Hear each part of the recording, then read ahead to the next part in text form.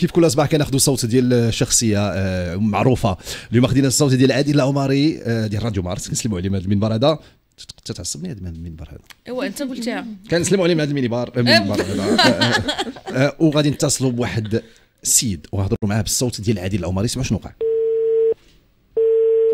ألو؟ وشوفني يا سعيد؟ ماشي سعيد هذا. قال لي شي 350 ألف حاجة حتى حاجة مزقات. فاش؟ قال لي مرابط صافي تفاهمنا معاه غيسيني. قال لي سميتو الآخر بوطويل صافي تفاهمنا غيسيني. والله ما عرفت كيفاش كدوي قسما بالله. ما شناه؟ ما خلص ما دار حتى شي حاجة. وراه كل واش كيبغي. الوداديين بغاو غير يفهموا أنا رجاوي هذا غيجي وهذا غيجي وهذا غيجي وغادي نخلصوا غنجبدوا غنديروا أيوا خلي اللي بغى يجيب يجيب ماشي مشكل ما درتي حتى شي حاجة الوداد سالت ميركاتو zéro انتداب ما ما فهمت والو والله ما فهمت شي حاجة.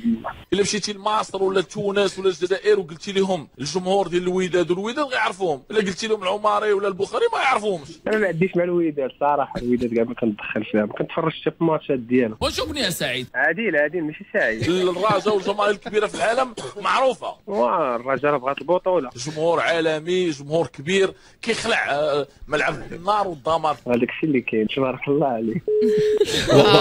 هو- هو هو عرفوا ولكن ولكن ما فهمش ما فهمش. عرفتي هذيك ما كتعرفهاش باش منفوخة. الشيء اللي وقع هذا Appel de Star غادي يرجع غدا في نفس التوقيت على شي اف